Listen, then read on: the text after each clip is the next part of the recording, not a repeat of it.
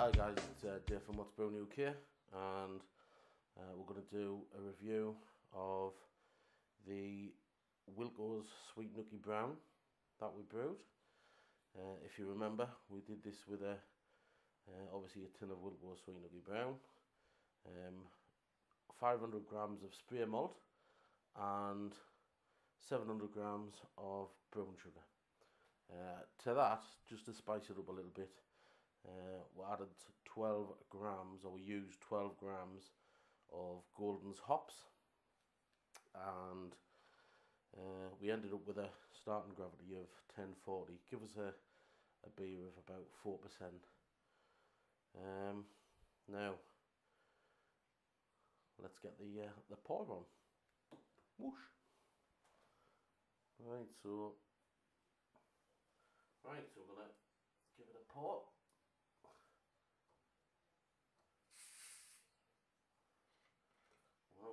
put it in the jug like I normally do. I'm just going to pour it straight in the glass. Try and tilt the glass at the same time. Hardly amazing.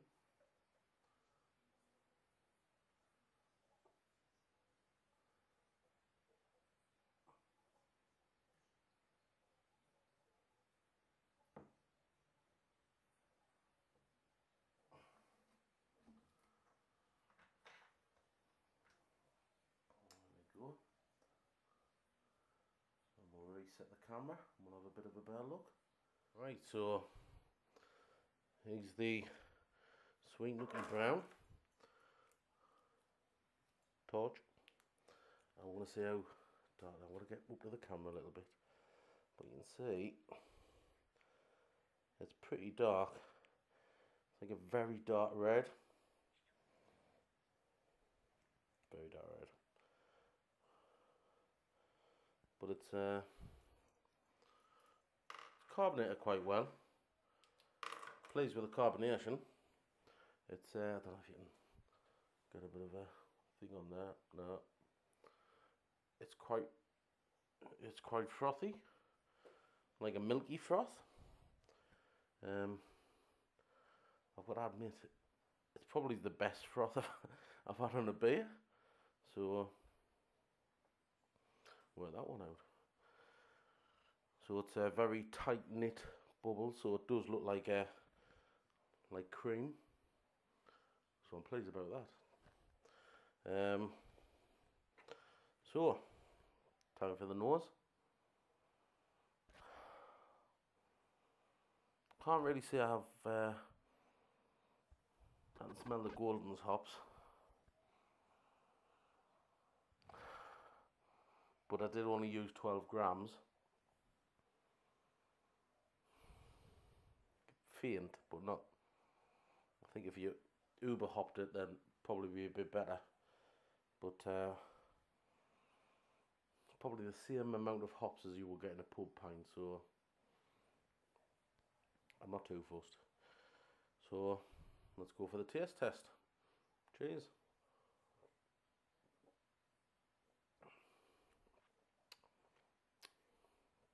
actually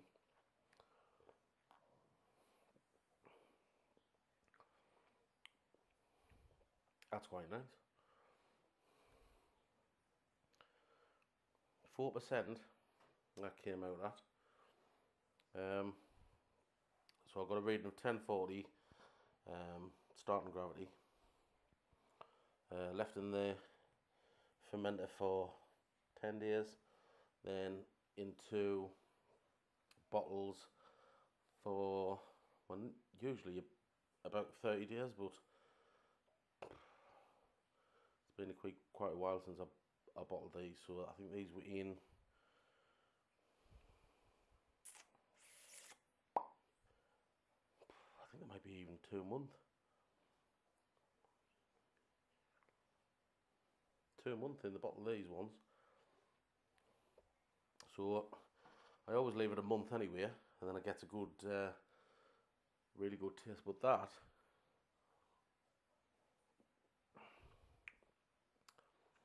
that was really good. I'm impressed with that. For one can kit, I did add, add the um, the spray malt, so that obviously beefs it up a bit.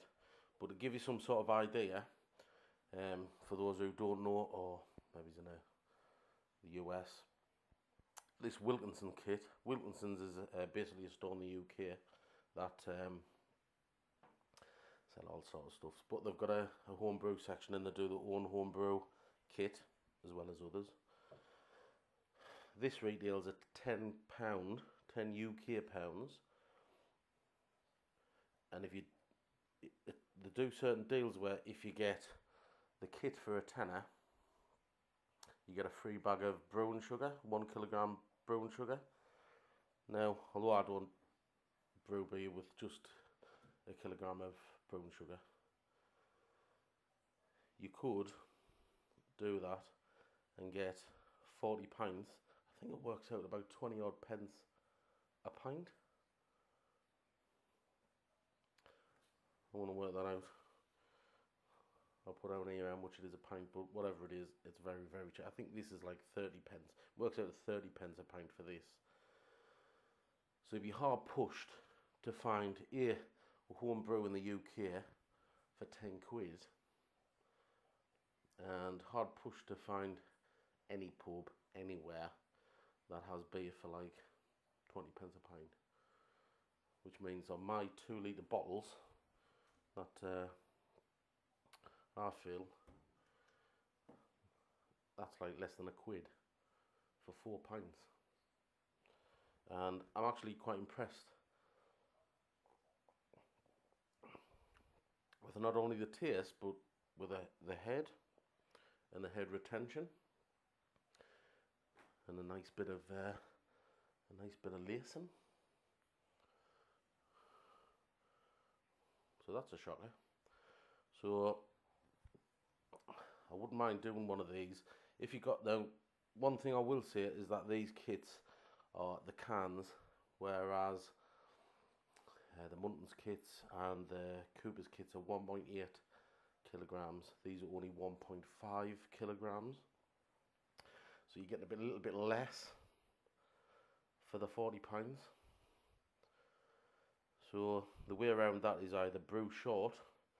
So instead of doing 20, uh, instead of doing the 40 pints or 24 litres or 23 litres, sorry, do 20 litres. Uh, or do what I did, add some spray malt. Or maybe get two sweet newkie brown kits and put them in one and it'll even taste even better. That is actually quite good. I'm, I'm actually impressed with that. So, uh, for £10 you can't go wrong. But you'd have to leave it for at least a month and use some spray malt. I don't know what this would taste like if you just did it with um, sugar. Maybe it's not as good. Right, so, but, uh, yeah. Um, taste. After me a little ramble.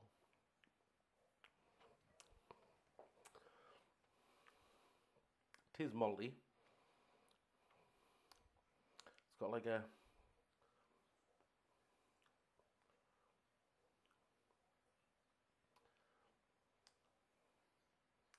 a little bit of a like a, a tangy aftertaste, but very, very subtle.